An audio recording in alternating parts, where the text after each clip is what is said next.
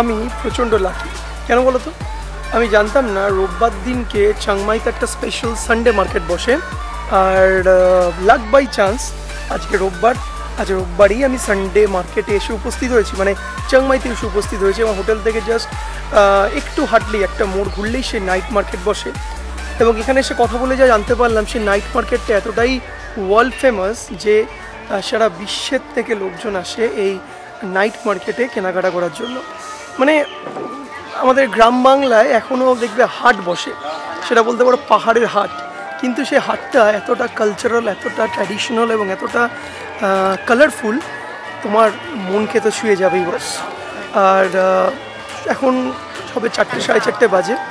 এখন এই বলতে পারো যে নাইট মার্কেটটা বসছে মানে সব দোকান খুলছে। আমরা সন্ধেবেলা একবার আসব এক্সপ্লোর করব। দেখব রাত্রিবেলা ব্যাপারটা কেমন হয়। নাইট মার্কেটটা আমি ইউটিউবে বেশ কিছু ব্লগ দেখেছিলাম যে নাইট মার্কেটের ব্যাপারে যে রাত্রিবেলা এখানকার স্ট্রিট ফুড এখানকার কালারফুল লাইফ এখানকার জামা কাপড় এখানে সব কিছুই নাকি এখানে পাওয়া যায়। তো আজকে সচক্ষে সরজমিনে একদম বিশ্লেষণ করব যে কেন এই নাইট নাইট মার্কেটের রোববার দিনের এই নাইট মার্কেটের এত বিশ্বজোড়া সুনাম। ঠিক আছে?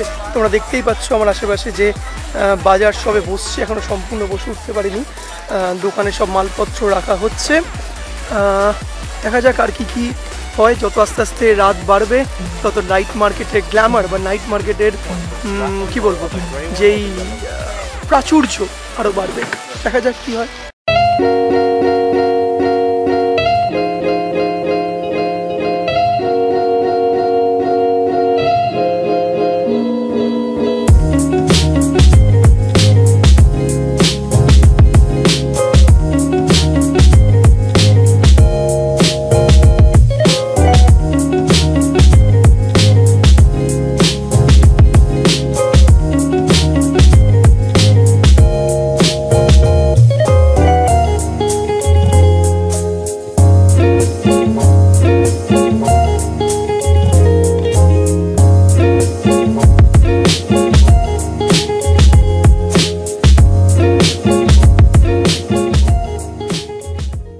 আস্তে আস্তে সূর্য ডুবছে এবং জায়গাটা আরও বেশি সুন্দর হয়ে যাচ্ছে।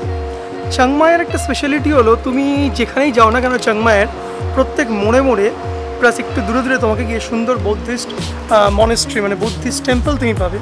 তো আমি এদের থেকে পারমিশন নিয়েছি এরা বলেছে ভেতরে এসে ছবি তুলতে তুমি দেখতেই পাচ্ছ যে আমার পেছনে যেই মংটা রয়েছে। আহ, দুর্ভাগ্যবশ তারা হিন্দি বোঝে না বাংলা বোঝে না ইংলিশও বোঝে না। তো যাই হোক আমার ভাষা বুঝতে পারছি না তাদের ভাষা আমিও বুঝতে পারছি না। তারা চাংমাইয়ের লোকাল ভাষা ল্যাঙ্গুয়েজে কথা বলছে। তারা সন্ধেবেলার ইভিনিংয়ে বিকেলে হয়ে গেছে তার কাজগুলো তারা করছে এখন। Okay do you speak English speak English you can speak okay okay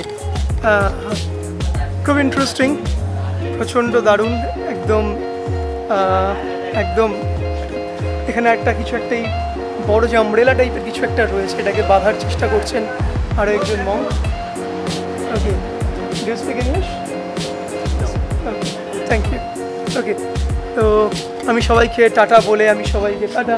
Bye all of you bye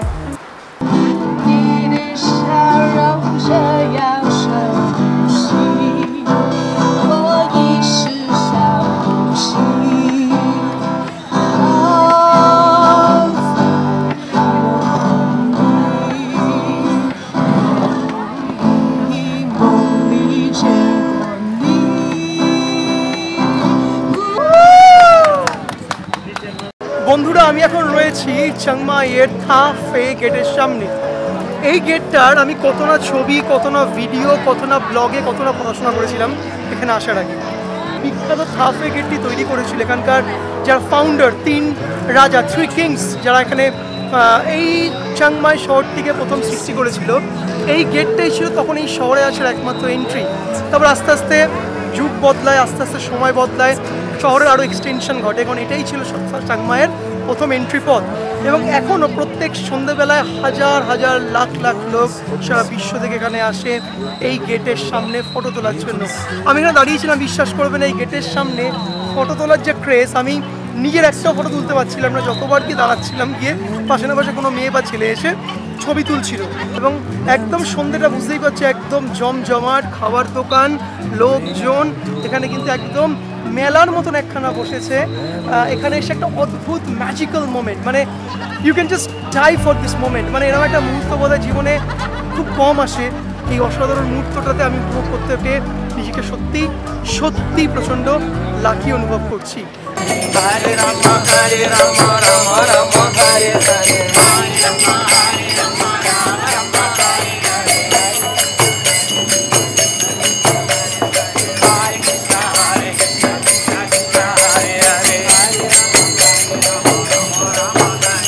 guys আমি এই মুহূর্তে রয়েছি চাংমাইয়ে চাংমাইয়ে কিন্তু এখানে হরে কৃষ্ণ হরে কৃষ্ণ।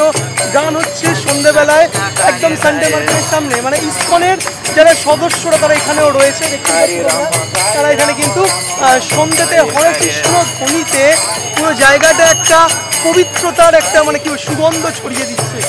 ভাবলে অবাক লাগে না? আমি মায়াপুরে বহুবার গেছি।